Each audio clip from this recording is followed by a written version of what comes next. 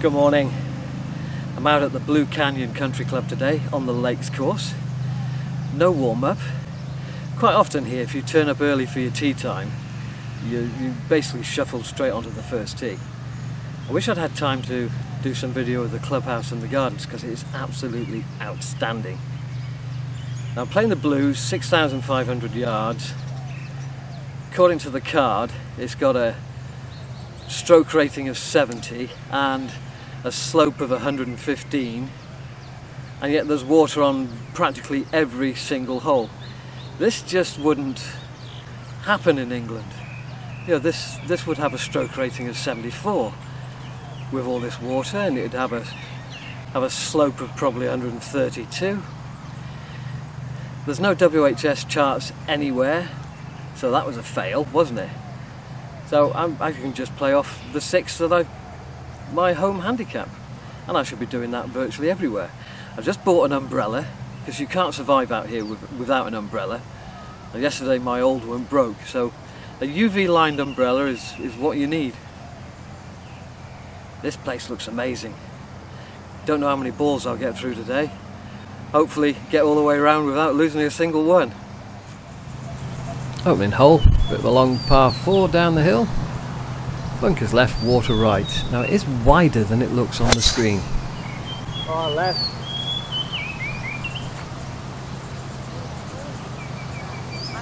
Bunker. Bit of a tug on the tee shot. Now got a shot over water. I'm going for the fat of the green oh, left. Oh, left again. Simon. Okay, sir. Okay.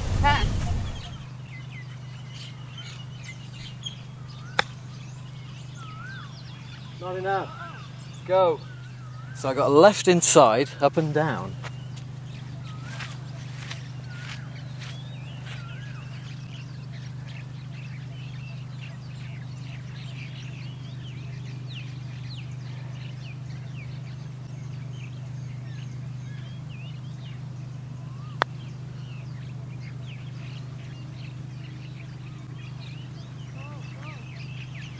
See how that turned back? An opening bogey, but early days yet, isn't it, guys? Bogey. See, that is one of the dangers out here. Is there's nobody around, so they uh, you skip the driving range. I mean, hell, I haven't even put on my sun cream yet. So we start with the, the inevitable bogey. Bloody hell. Who gives a damn? Look at this place. Six iron down the breeze, all carry. This is a bit scary. Better. Oh, oh it's on. Okay. Yeah. Time for two. Well, it's dark your side, it's shiny my side, so it's down the grain. Oh. Oops. Yesterday's green much slower. Green speed 9. Left inside. Left inside. Yeah.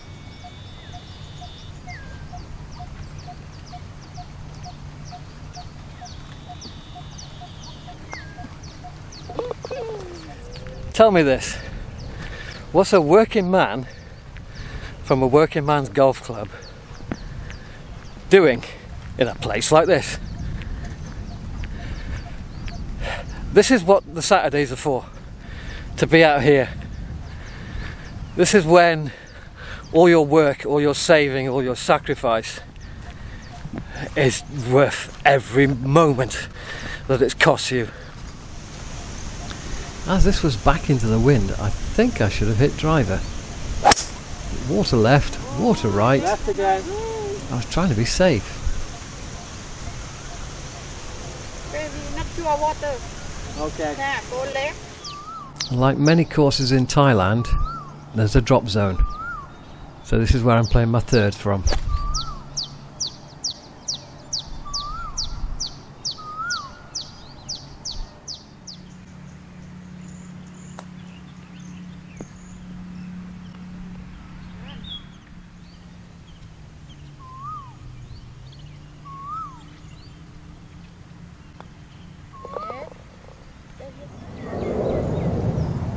Just got to slice this against the wind. Easy for me.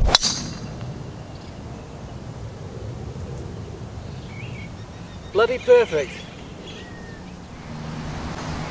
This shot, not so easy. Way below my feet. I completely failed to cut this Over there. nè. into the green.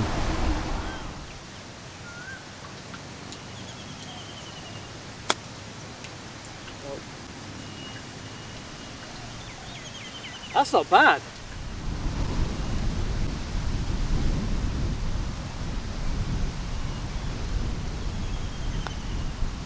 Hold on. Ooh, look, look.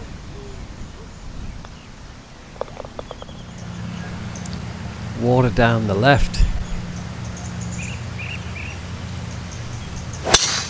It's a tough tee shot. It's okay.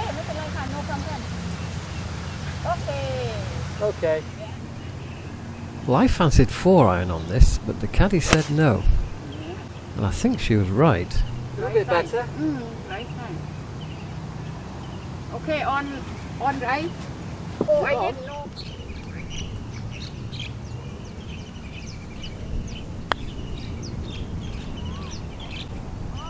Go. Oh, oh. Not bad, guys. Not bad.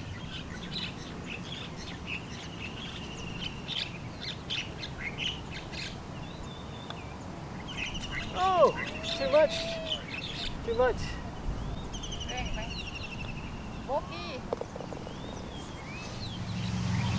Water right, water left, trees left, bunkers right.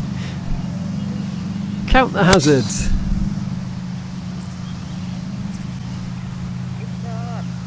That's okay.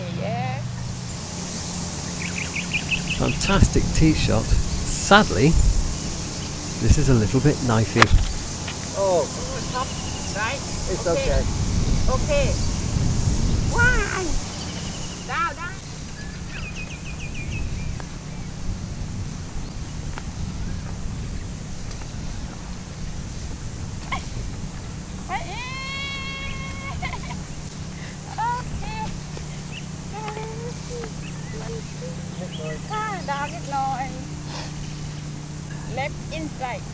Inside. Yeah, I can.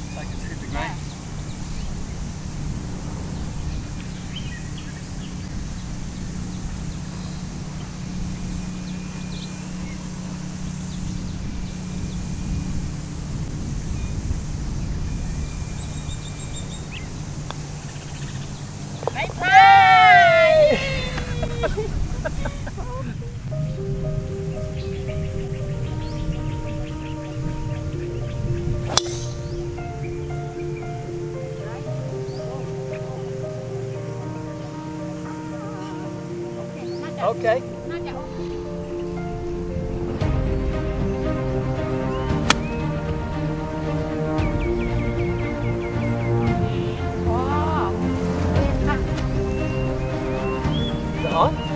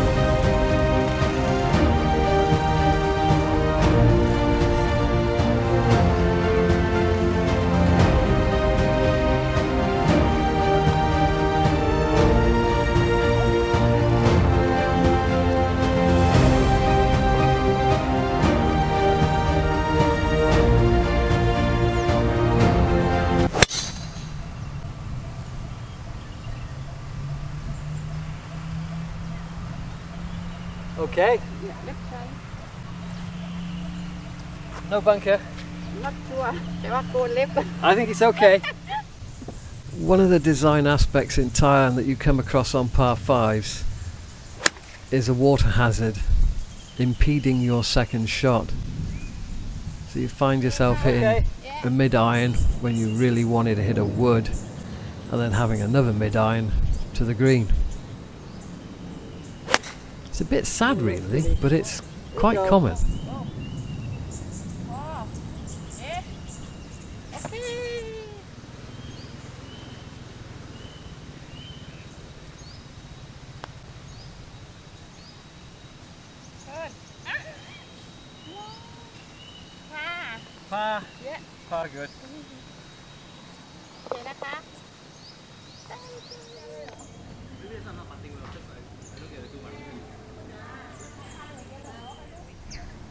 So in the drink stop there was a group having lunch, so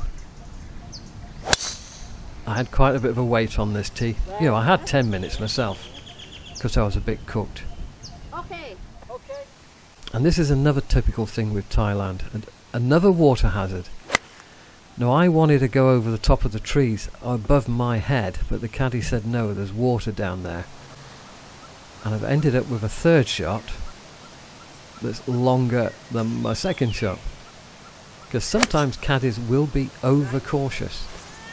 But that was a wonderful hooked five iron. Although, this is pretty dead dead and buried. And that duff was absolutely perfect. But the putt for par I would never have got without a caddy. I saw this as right edge and she told me about a hole and a half. So I would have missed this on my own. Come Comcat, thank you. I never get that on my own. Long wait again, but I've pulled the driver I'm going at this one.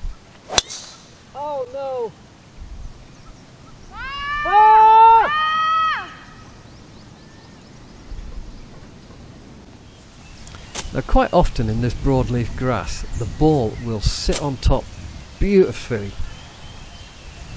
So you better take advantage of it when it does.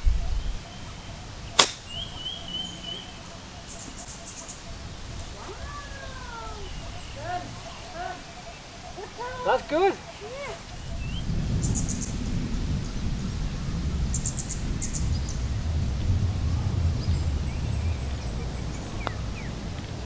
Oh, oh, in the hole. It's going.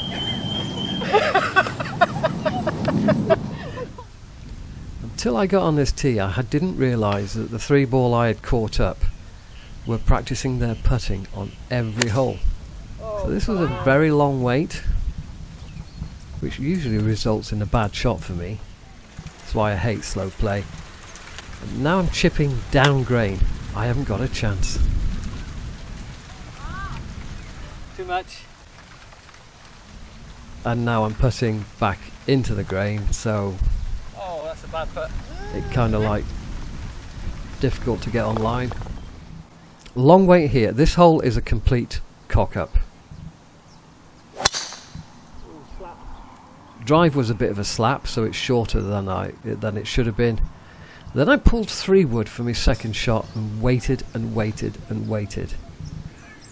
And I hit it to the right, which was towards the water, but it was absolutely hammered.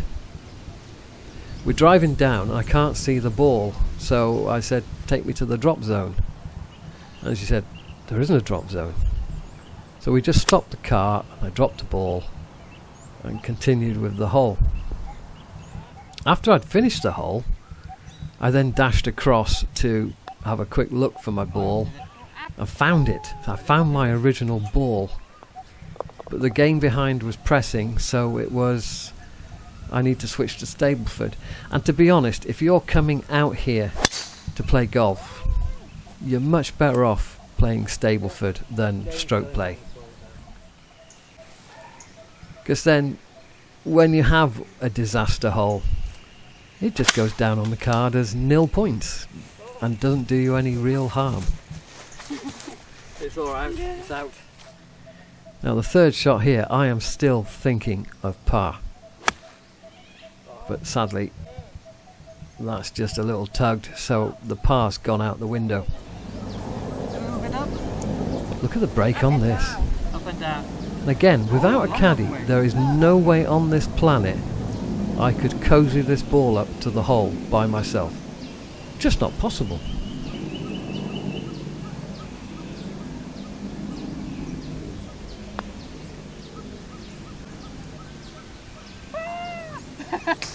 Okay, Yeah. okay. Okay. One, two, three, four, five. Okay. Again. Okay.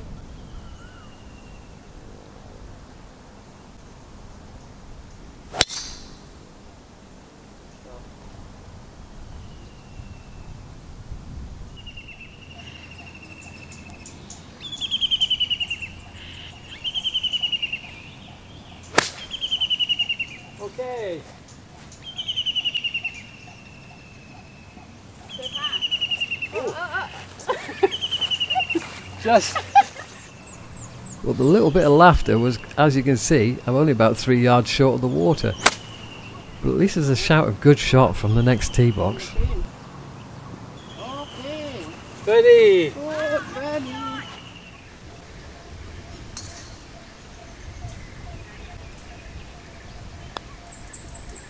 Oh. Right foot there. Come on, par. Yeah.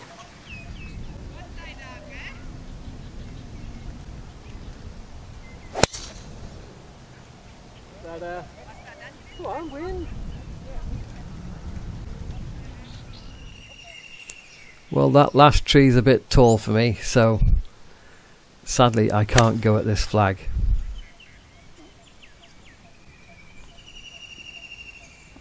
Yeah, long way. Long way from flag. I find it quite amazing that over a putt of this length, the grain can cancel out the very obvious slopes on the green, and the caddy says left edge. And I find it very hard to get my brain around this fact. Go. Go, go, yeah. Par. The only hole on the course with no water on it. Flags over the bunker. Go. Go. Go. It went. That was a really good shot. But as you can see, it's shiny, so when it landed on the green, it was down grain and never stopped. Oh, I did it like a girl. Go, go, go, go. But you know, we'll take a par any day of the week on a par 3 like that. Right, over the top of the big tree. It's not actually that far away, it's only about 190 yards to that tree. Okay. Okay. Uh, but this must be the toughest shot I've faced all day. No. Right side. Safe. Okay. Safe. Mm, safe. Missed all the water, then ran down to here. And I still can't get it in my head that if you're going into the grain with your pitch or your chip, you've got to throw it to the flag. Otherwise, you're left with another putt into the grain. But what a fantastic caddy I've had today. Another bogey. Yeah, yeah. One, two, three, four,